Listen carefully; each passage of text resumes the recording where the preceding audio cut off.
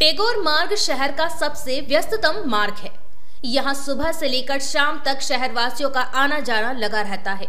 लेकिन वाहन पार्किंग नहीं होने की वजह से आए दिन जाम की स्थिति बन जाती है और यातायात भी बाधित होता है।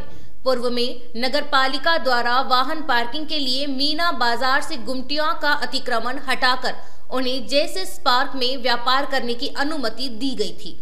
और उक्त स्थान पर वाहन पार्किंग की व्यवस्था भी की गई थी।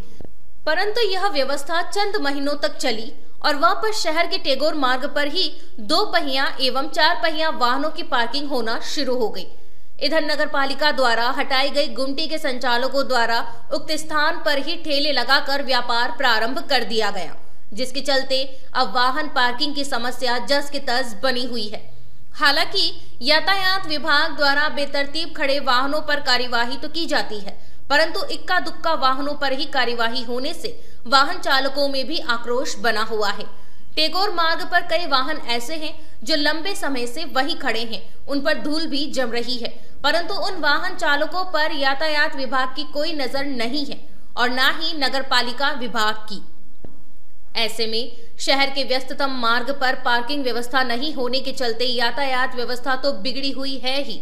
वहीं आए दिन जाम के अलावा छोटी मोटी दुर्घटनाएँ भी होती रहती हैं।